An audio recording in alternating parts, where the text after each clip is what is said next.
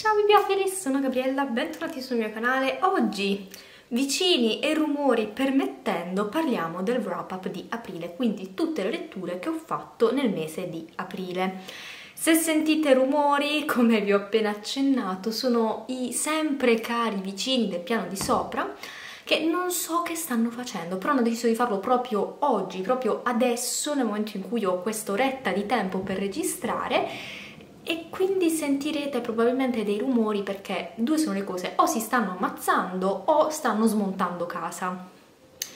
Non lo so, non lo so, ma detto questo parliamo delle letture del mese di aprile. Ad aprile ho letto tantissimi uh, libri e fumetti, tre fumetti di cui un manga, tre seguiti, tre nuovi libri e poi un libro per il gruppo di lettura, il Fangirl Legge Tolkien GDL, che eh, si è concluso, si è concluso con la lettura di lui. Il tanto temuto Silmarillion o Silmarillion come vogliamo chiamarlo e pronunciarlo. Questo era l'ultimo libro appunto dedicato al mio gruppo di lettura dedicato a Tolkien c'è un video in cui vi parlo di tutta l'esperienza un anno dopo perché è stato un gruppo di lettura durato un anno e io volevo proprio concludere con questo libro che è un po' un trattato storiografico, un po' una bibbia di Ard della Terra di Mezzo perché è un libro che nel corso della mia vita da lettrice avevo iniziato altre tre o quattro volte e non sono mai riuscita ad andare avanti, secondo me perché sbagliavo l'approccio. È un libro che di base resta molto complicato, molto complesso, non facile da digerire, non facile da leggere, soprattutto in determinati periodi. Bisogna essere molto leggeri e con la testa libera per approcciarsi al Silmarillion per quel che mi riguarda e io sbagliavo, secondo me, per quello che riguarda la mia esperienza di lettura, nel volerlo leggere tutto insieme, tutto d'un fiato. Questa volta ho deciso di leggerlo per tutto il mese di aprile, quindi ho iniziato in realtà non proprio i primi giorni di aprile, più o meno dopo la prima settimana, e l'ho finito proprio l'ultimo giorno di aprile leggendo pian piano queste pagine che alla fine non sono neanche tantissime e tra l'altro ho scelto questa volta di leggerlo da questa edizione qui e le illustrazioni mi hanno aiutato un sacco eh, nella lettura, sono illustrazioni bellissime e cioè, le amo infinitamente, sono veramente stupende. E quindi mi hanno aiutato man mano, ecco questa è una delle mie preferite, cioè, i colori sono sensazionali e mi hanno aiutato un sacco. Uh, il Silmarillion, inutile che ve lo dica, narra di quelli che sono gli eventi più importanti della Terra di Mezzo, di Arda, di come è nata e di come è andata pian piano a avere i suoi avvenimenti più importanti, tant'è che si uh, parla di nuovo di altri racconti che abbiamo già sentito come Beren e Lúthien, Gondolin, Turin, quindi i figli di Urin, si arriva addirittura a parlare dei tre anelli. E a me è piaciuto, ma um, continuo a dire che non è propriamente il libro che fa per me nell'universo di Tolkien perché è complesso. E il fatto che sia così tanto complesso, nonostante sia allo stesso egual modo affascinante e sensazionale, non me lo fa apprezzare fino in fondo.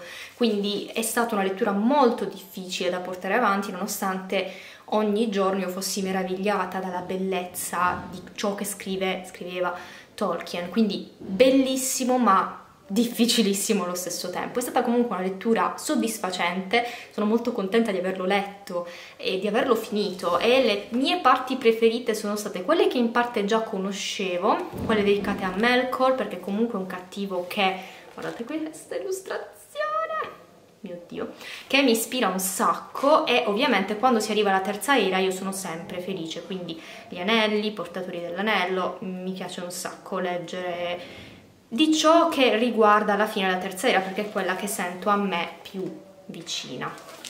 Detto ciò, con questo ho eh, letto praticamente tutti i libri di Tolkien dedicati ad Arda, la Terra di Mezzo e eh, magari non quest'anno, l'anno prossimo, quando sarà, ritornerò a leggere Tolkien. Devo un attimo un po' disintossicarmi perché un anno non è stato facile, perché Tolkien non è facile, anche se mi piace un sacco, però vorrei leggere di Tolkien tutti gli altri suoi libri, quindi quello dedicato ad Artù, Beowulf, quello dedicato al Medioevo il Fantastico, Il Cacciatore di Draghi, insomma ce ne sono tanti altri e prima o poi li leggerò sicuramente. Ma passiamo alle altre letture e parliamo, prima di passare ai libri che hanno un paio di delusioni, Parliamo prima dei fumetti manga e fumetti che sono state tre letture bellissime, stupende, meravigliose. Il primo è il manga ed è Mao.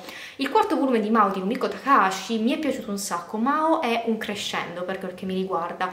La storia di questo dottor Mao e della ragazzina che sembra nascondere molto di più dietro di sé, eh, mi ricorda sempre di più Inuyasha, sebbene un po' più horror, un po' più splatter, e mi sta entusiasmando sempre di più perché ovviamente man mano che si va avanti nella storia la nostra Rumiko Takahashi ci sta presentando personaggi secondari e ci sta presentando molto di più del passato dei protagonisti e questo mi piace un sacco. Tutti i manga però finiscono con dei cliffhanger assurdi e bisogna aspettare ogni volta due mesi per andare avanti e non mi sembra giusto. Comunque, mm, se conoscete Rumiko Takashi, conoscerete anche i suoi disegni, vedete, ricordano veramente un sacco Inuyasha e anche la trama ricorda Inuyasha più di Ramma un mezzo, ovviamente. Comunque, la Takahashi anche questa volta non mi sta deludendo, io sono già prontissima a prendere il quinto volume che esce eh, i primi di giugno. Davvero sono così contenta che mi stia piacendo perché erano veramente tanti anni che un manga non mi prendeva così tanto. Sta succedendo anche con un altro manga, ma ne parleremo nel wrap up di maggio. Se mi seguite su Instagram già sapete di quale manga sto parlando perché ho iniziato un manga da tantissimi amato, finalmente, e mi sta piacendo un sacco. Ma ne parliamo nel wrap up di maggio. Io comunque vi straconsiglio Mao perché mi sta piacendo da morire ma a parte eh, Mao ho letto due fumetti, due fumetti di Bao. Bao Publishing mi ha donato questi due fumetti e io non potevo che essere contenta, contenta perché uno è il seguito di un fumetto che ho letto l'anno scorso e quindi aspettavo questo seguito e l'altro è un fumetto che da quando è stato annunciato sapevo che sarebbe stato una bomba, un fumetto importantissimo. Parliamo prima del seguito perché è La Belgica, secondo volume, La melodia dei ghiacci, il primo era Il canto delle sirene, ve ne ho parlato l'anno scorso. E la Belgica di Tony Bruno, il secondo volume, mi è piaciuto molto di più del primo perché mi ha emozionato molto di più. Nel primo volume noi abbiamo Jin, il protagonista, che si imbarca, non facendolo neanche apposta, verso un viaggio, un viaggio che realmente si dice il primo viaggio ehm, praticamente che ha eh, segnato la storia, un viaggio fra i ghiacci che non sarà facile. Come viaggio non sarà facile Ehm, dall'inizio alla fine. E nel primo appunto abbiamo l'inizio del viaggio, abbiamo la speranza, la voglia di viaggiare, la voglia di conoscere nuovi territori, di scoprirli, perché appunto è la prima volta che si andava in questi luoghi ghiacciati con una nave alla fine fatta di legno, con un equipaggio giusto, ma che comunque stava attraversando per la prima volta dei territori inesplorati, con magari dei mezzi non adatti. In questo secondo libro c'è proprio la stanchezza del viaggio, c'è quasi la perdita della speranza da parte di Jin da una parte che non ce la fa più. E eh, tutto l'equipaggio non ce la fa più, sono praticamente dispersi e vorrebbero tornare a casa e quindi è molto più emozionante vederli in questo stato e poi mi è piaciuto un sacco perché c'è il, ehm, il, racconto da parte di Claire, che è la sua amata, colei che lo aspetta a casa, di cui non ha notizie, né l'uno dell'altra hanno notizie, e ehm, lei si unirà a quello che è uno dei primi gruppi femministi ehm, è una sorta di suffragette, sebbene non ci troviamo in Inghilterra, comunque sono delle sorte di suffragette che vogliono il voto per le donne, vogliono i diritti per le donne e Claire insieme ad altri personaggi femminili andrà a lottare per questo e mi è piaciuto un sacco il fatto che la sua storyline si divida fra il voler lottare per le donne e la preoccupazione comunque per il suo uomo. Questo fumetto mi ha ucciso, poi letteralmente, perché accadono delle cose che mi hanno stretto il cuore mi è dispiaciuto un sacco, io non me l'aspettavo, che ci fossero scene così strappalacrime e invece sì, e ho pianto. E mi è piaciuto molto molto di più questo rispetto al primo volume, devo essere sincera, i disegni sono in bianco e nero e uh, si vede che comunque Tony Bruno è stato magistrale nell'andare a informarsi sulle navi, su questi viaggi, tant'è che eh, ci sono anche parte dei suoi studi, quelle che ha insomma fatto per parlarvi della Belgica, qui c'è l'equipaggio, insomma si è informato e, e, poi il fumetto termina con una lettera dolcissima che ovviamente dovete leggere, qui dice il viaggio fatto. Insomma, la Belgica è veramente un fumetto, la Belgica 2 in particolar modo, un fumetto che non mi aspettavo che mi potesse piacere così tanto. Il secondo fumetto di cui voglio parlare è quello che appunto sapevo sarebbe stata una bomba, una perla rara ed infatti è stato così. Sto parlando di Pelle d'uomo, in questa edizione stupenda di Bow Publishing di Hubert Zanzim. Pelle d'uomo è uh, un fumetto attuale, più attuale che mai, nonostante sia ambientato durante il Rinascimento in Italia. La protagonista è quella che vedete in copertina, Bianca, Bianca che è una giovane donna promessa sposa a un giovane uomo che lei non conosce. Quest'uomo si chiama Giovanni, lei non lo conosce per niente, eppure dovrà sposarlo, dovrà essere intima con lui, dovrà trascorrere tutto il resto della sua vita con lui. E si vede, le donne della sua famiglia notano quanto Bianca sia a disagio nei confronti di questo matrimonio organizzato che lei in realtà non vorrebbe portare avanti. Ci sono le sue amiche che le danno dei consigli vari, però Bianca vede quanto siano ipocrite perché magari c'è chi va a assecondare tutto ciò che il marito fa, oppure c'è chi va a tradirlo. E Bianca vorrebbe qualcosa di più dalla sua vita. Cosa accade? Accade che sua zia le rivela un grandissimo segreto, ovvero, cara Bianca, noi possediamo una pelle d'uomo, letteralmente una pelle d'uomo, che è quella che Bianca indossa qui in copertina, e eh, questo ragazzo che noi ogni volta indossiamo lo chiamiamo Lorenzo. Solo indossando questa sua pelle tu potrai letteralmente entrare nel mondo uo- degli uomini e capirlo. Così Bianca usa Lorenzo per conoscere Giovanni, ma le cose non andranno come lei si aspettava, per niente. E Bianca ha anche un fratello, un fratello che fa parte della chiesa e che mh, mm, è ricco di... Eh, frustrazione, ho visto tanta frustrazione nel fratello di Bianca, soprattutto nei confronti delle donne.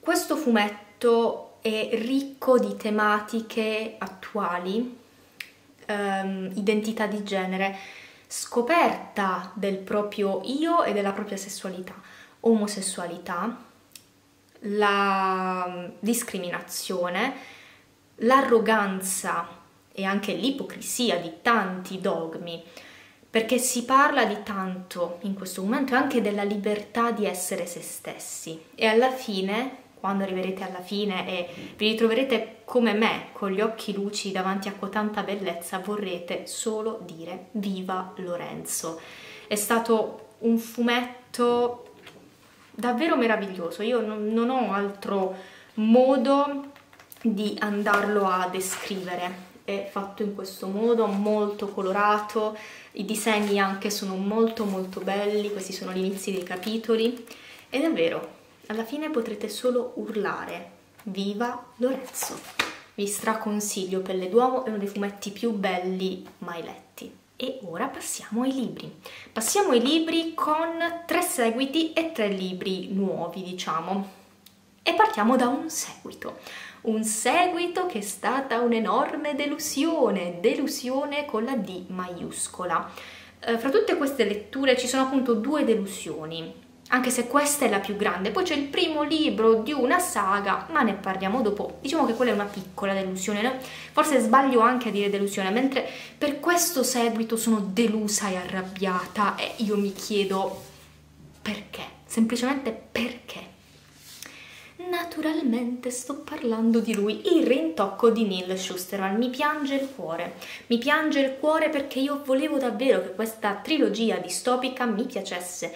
È difficile, è molto difficile che un distopico mi piaccia, che io ne sia attratta e questa volta non è andata bene perché allora Falce di cui c'è un video dedicato sul canale, mi era piaciucchiato, anzi mi era piaciuto perché? Perché alla base di Falce c'è un'idea molto bella, una mm, costruzione di questa idea che gira attorno al controllo sulla morte che è molto bella e molto emozionante. E Falce credo sia un buon libro sotto questo punto di vista. Mancava molto da un altro punto di vista ovvero costruzione del mondo setting e personaggi soprattutto. I personaggi sono piatti, ma di un piatto, un foglio a quattro. Questi sono i personaggi per quel che mi riguarda di questa trilogia. Però Falce era il primo libro, quindi mi sono detta, vabbè, il primo libro, il secondo si chiama Thunderhead, che è praticamente il fulcro di questo world building, il centro, quindi ci sarà molto del Thunderhead. Bello, insomma, sono contenta che il secondo sarà sul Thunderhead. E poi ci sono altri due libri, ce ne sarà da dire sui personaggi, voglio dire, il primo libro si è focalizzato sull'idea del controllo della morte, della vita, delle falci che vanno appunto a spigolare sotto alcune regole le persone, perché appunto non ci sono più malattie, non c'è più morte naturale, non c'è più povertà, è tutto controllato da questo Thunderhead, c'è poi una sorta di religione. Bello, ma tell me more please, invece no, non mi si dice praticamente più nulla.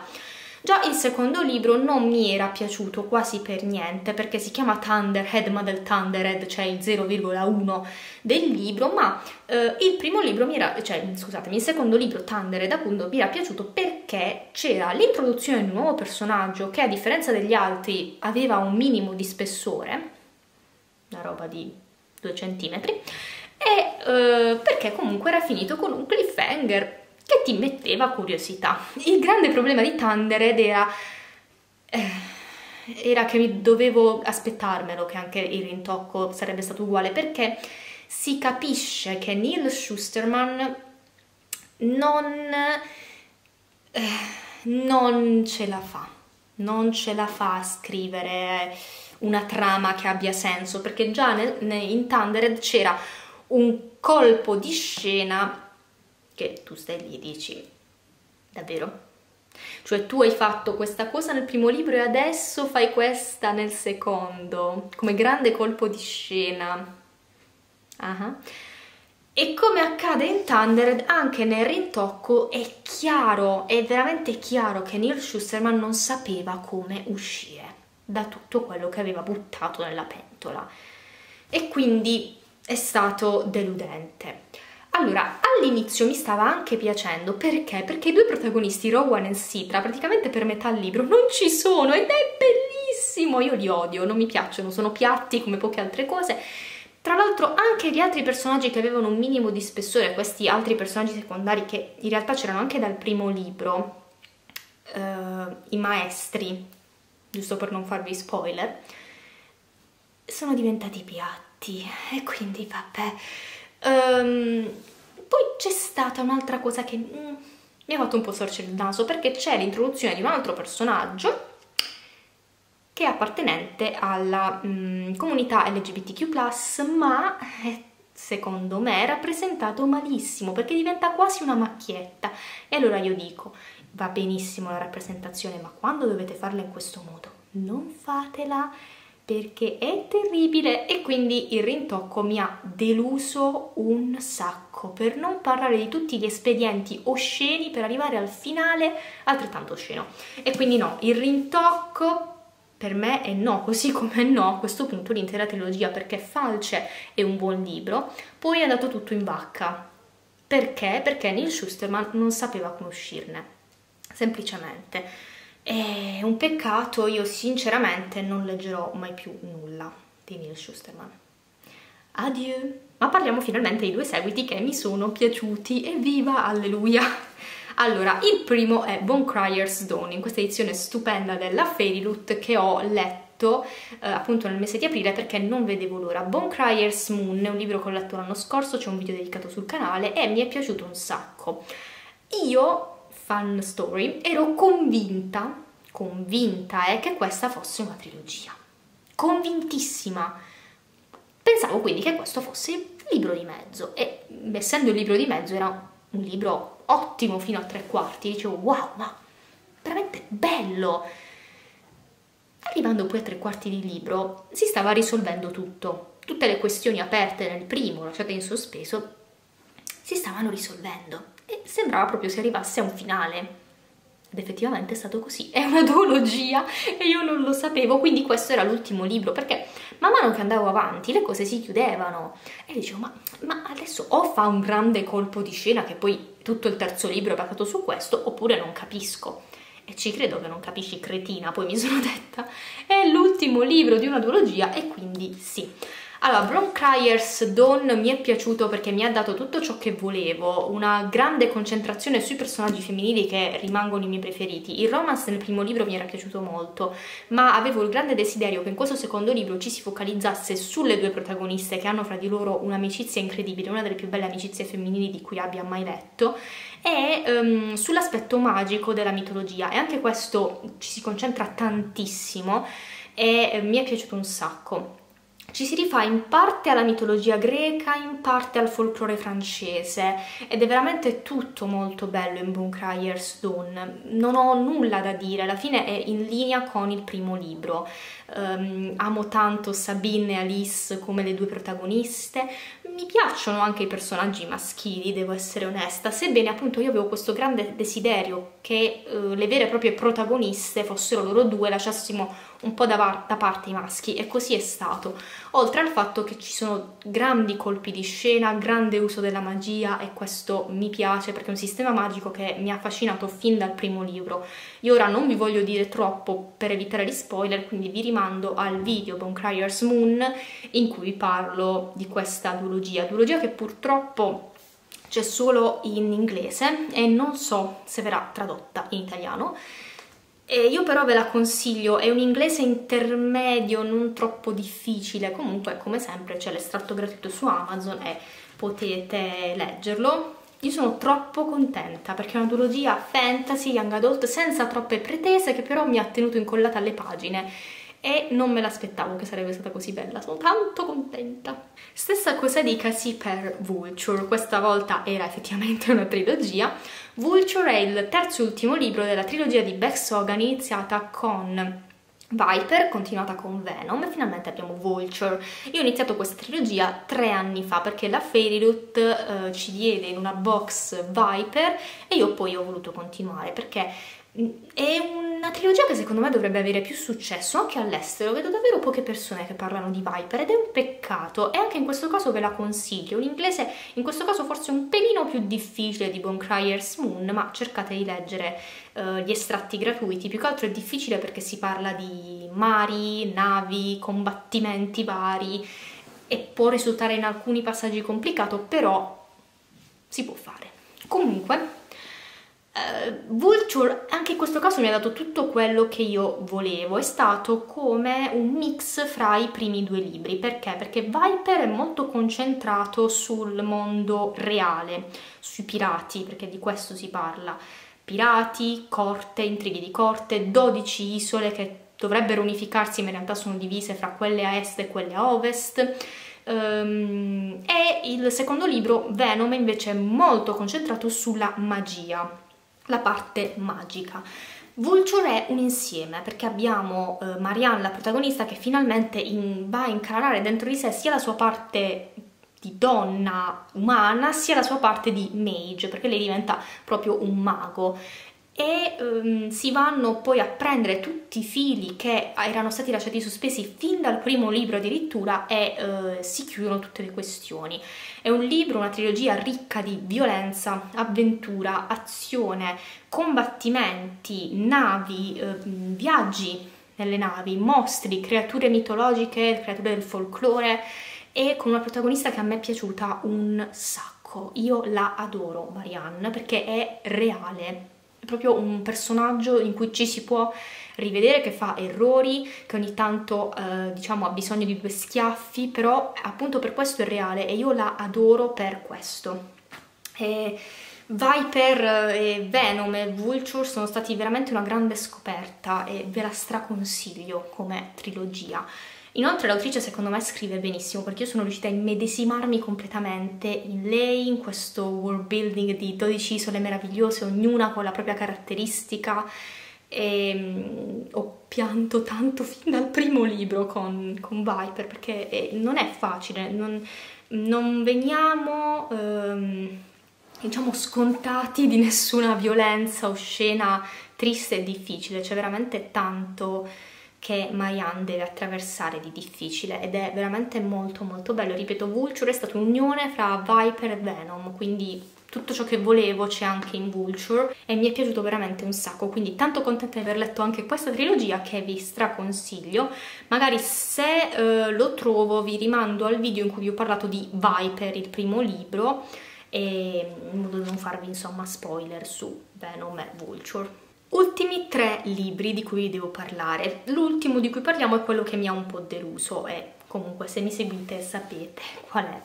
Allora, un libro che mi è piaciuto molto e non me l'aspettavo sinceramente, cioè pensavo mi piacesse ma non così tanto, è stato questo. Scrittori amanti, edito dalla Fazzi Editore di Lily King, uscito di recente appunto in questa bellissima edizione. L'ho letto perché mi ispirava il fatto che la protagonista Casey è una scrittrice. Quindi si parla appunto di questa scrittrice di 30 anni che però deve trovare il suo posto nel mondo. Lei fa un lavoro che non le piace, essenzialmente fa la cameriera, vive in un bugicattolo che è l'unico posto che riesce a pagarsi, è morta da poco sua madre e da poco si è lasciata anche col suo ex storico. Quindi la sua vita sembra che stia andando a rotoli. E inoltre lei da ben sette anni si porta dietro questa storia che continua a scrivere ma a modi altalenanti, mettiamola così, non riesce a finire e quindi io mi rivedevo un sacco in Casey perché appunto trentenne che deve trovare ancora il suo posto nel mondo, che scrive, che vuole terminare questa, questa storia che comunque ha passato delle esperienze un po' difficoltose e volevo trovare in Casey un po' un, un personaggio in cui rivedermi ed effettivamente è stato così. È un personaggio Casey, anche in questo caso, reale, però una realtà che possiamo davvero toccare con mano, è la vita di tutti i giorni, è la esperienza che soprattutto quelli della mia età possono capire al meglio, quella di Casey. La, l'autrice usa uno stile molto diretto, anche in questo caso non ci viene scontato nulla, cioè andiamo a trovarci davanti a delle scene anche abbastanza forti per quanto riguarda l'introspezione del personaggio che è passata davanti a un lutto, a una perdita diversa di quello che sembrava il suo grande amore e ehm, comunque si trova davanti a una vita difficile. Inoltre ha anche dei rapporti molto difficili con suo padre, quindi Casey sta vivendo un momento della sua vita in cui tutto sembra andare male. E inoltre eh, appunto viviamo la sua vita mentre conosce altri due personaggi, due personaggi maschili molto diversi fra di loro, uno scrittore molto affermato, acclamato, con due figli, senza una moglie, con cui lei inizierà una relazione, e un giovane scrittore, Silas, io amo questo nome, che però sembra un po' scostante, sembra un po' come Casey, cioè c'è e non c'è. Non lo fa neanche apposta, Silas è così. E quindi Casey va a avere due relazioni e cerca anche in questo caso di comprendere cosa lei voglia davvero. E inoltre la cosa che ho amato un sacco è che si vede chiaramente il processo creativo in questo libro, quindi sia i pro sia i contro, sia i momenti belli sia i momenti brutti, soprattutto nel processo creativo nel momento in cui si scrive un libro, un romanzo. Quindi è un aspetto che mi è piaciuto un sacco. Mi è piaciuto molto il libro dall'inizio alla fine, mm, Casey è un personaggio che sapevo che avrei apprezzato, infatti è stato così, e mi è piaciuto ogni tema trattato e anche il finale è stato molto molto soddisfacente, quindi vi straconsiglio Scrittori Amanti. Secondo libro di cui voglio parlare che penso, anzi sono convinta, essere stata la lettura migliore come libri di questo mese perché metto sullo stesso piano sia Pelle d'Uomo sia questo libro è il primo libro delle cronache dell'acero del ciliegio, La maschera del no di cui vi ho già parlato in un video in cui però eh, era un review party e ho parlato per Ippocampo, la casa editrice che mi ha donato questa copia meravigliosa, del periodo Edo, il periodo in cui è ambientato appunto questo libro. E che dire? Ci troviamo appunto nel periodo Edo in Giappone, XVII secolo, e il nostro protagonista è un ragazzino, Ichiro. Ichiro viene abbandonato in fasce sulle montagne, quindi viene cresciuto in una casetta sperduta da un ex samurai e da una donna anziana. Il samurai gli andrà a insegnare la via della spada, la donna la via dell'amore e dell'affetto. La sua vita però viene stroncata e Ichiro dovrà improvvisamente lasciare le montagne, la natura, un posto tranquillo per arrivare alla città Edo, quella che sarà poi un giorno Tokyo. Edo quindi è molto più caotica e Ichiro vivrà tante vite, per quel che ho visto io a Edo. Ichiro è un ragazzo che vediamo crescere fin da quando è un bambino, lo vediamo diventare adolescente, lo vediamo davvero vivere tantissime vite. Potrebbe continuare la via della spada, però va verso una carriera diversa a un certo punto. Ed è proprio a Edo che si fa i suoi primi amici, Daichi e Shin, altri personaggi secondari che io ho amato, e poi eh, incontrerà quasi per caso Hinahime, la protagonista femminile una ragazza che vive confinata nelle mura della sua casa con una maschera, proprio la maschera del no, del teatro no, perché all'epoca c'erano il teatro del no e il teatro del kabuki. Anche il teatro sarà un grande tema affrontato nella storia. Hinaime racconta il motivo per cui ha quella maschera e i due cominciano a essere amici, fin quando anche qui le cose si complicheranno. La storia è eh, bellissima, è uno stile di scrittura tra l'altro dell'autrice molto immersivo, ti senti completamente immerso a Edo, prima ancora fra le montagne, fra la natura e poi a Edo. Ti senti Ichiro mentre lo vedi crescere e uh, gioisci e soffri con lui. Sei sorpreso quando conosci qualcosa di nuovo con lui, sia in maniera negativa che in maniera positiva.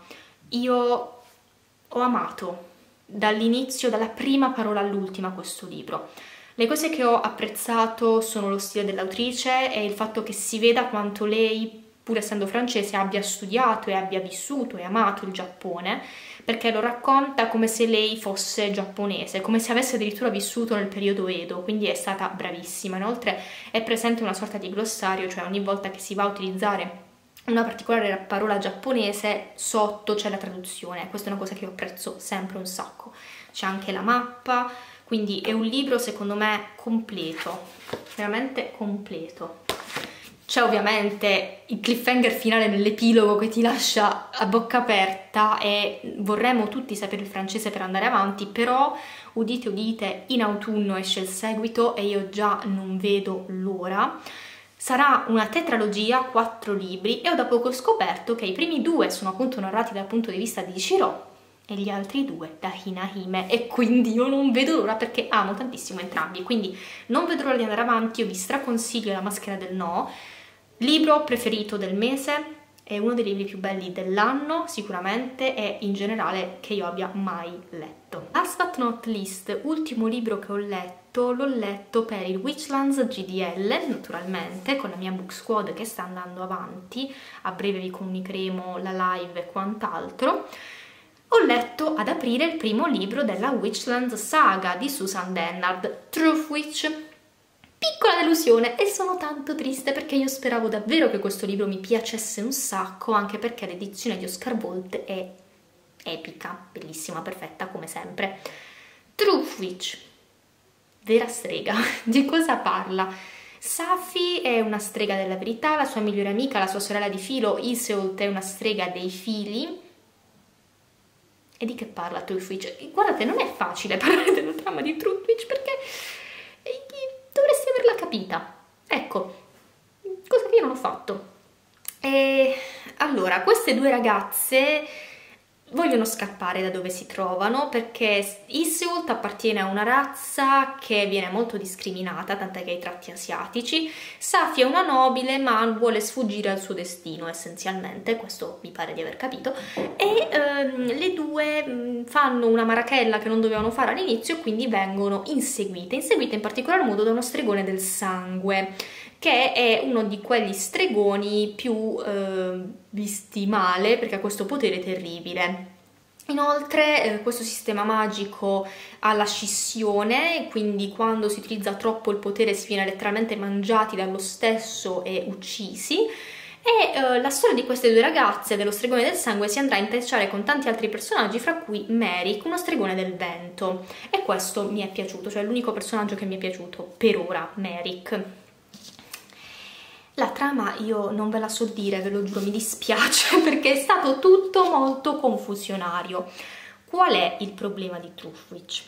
È un buon primo libro young adult. Buono. Diciamo che da 1 a 10 siamo alla sufficienza, ecco, come voto scolastico. Perché? Perché è molto confusionario, tanto, tanto, tanto confusionario, molto lento, molte cose non si capiscono, non vengono dette e io non vorrei che non vengano dette mai o che vengano dette all'acqua di rose nei prossimi libri. E molte cose davvero non l'ho comprese. Inoltre, il grande problema di Truffwich è che manca un glossario, uno, e due, mancano gli spiegoni, perché io non sono una grande fan degli spiegoni, eh. Devono essere comunque fatti bene, devono essere realizzati in ottima maniera, non me li devi fare appunto come degli spiegoni scolastici, ma se tu non mi spieghi quello che sta accadendo, il sistema magico, il world building, il setting, io non lo capisco. E poi il mondo è vastissimo, non mi basta sapere i nomi in giro, dove siamo, perché questo, cioè ho capito solo che c'è questa tregua che dura da vent'anni che sta per finire, ma perché, per come, boh. E quindi sarebbe stato un buon libro, davvero buon primo libro se ci fossero stati spiegoni e glossario, cosa che è assente, completamente assente. E anche i personaggi, sinceramente, a parte Merrick, con i suoi problemi, perché Merrick è un principe, ha problemi con la sorella, problemi per quanto riguarda le rotte commerciali, eccetera, eccetera, gli altri non mi sono piaciuti, non dico che siano piatti quanto quelli di Falce, però non hanno questo grande spessore, mi dispiace. Spero che le cose cambino in Windwich che sto attualmente leggendo. Non so quando vedete questo video se l'avrò finito, però lo sto leggendo e vedremo. E, come potete capire Truthwich mi ha lasciato abbastanza confusa e delusa. Non è brutto, ma non è neanche bello. Siamo nella via di mezzo, ecco. Sapete quando a scuola dicono è bravo ma non si applica? Truthwich e mi dispiace. Comunque ne parleremo in una live dove spero di riuscire a dire qualcosa in più perché davvero sono molto confusa, molto. Anyway, queste le mie letture del mese di aprile.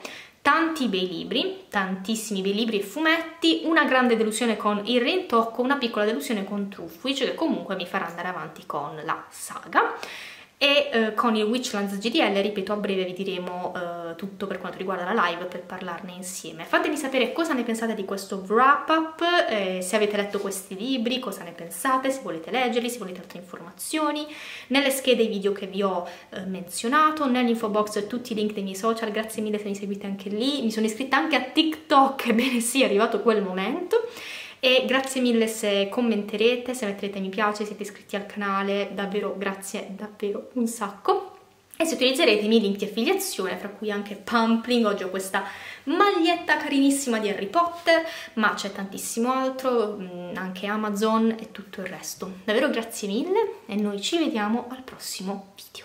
Ciao!